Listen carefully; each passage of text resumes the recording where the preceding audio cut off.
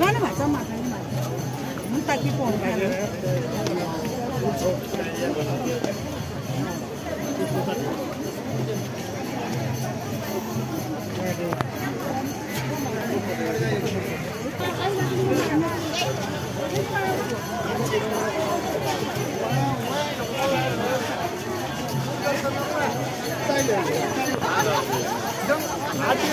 Thank you.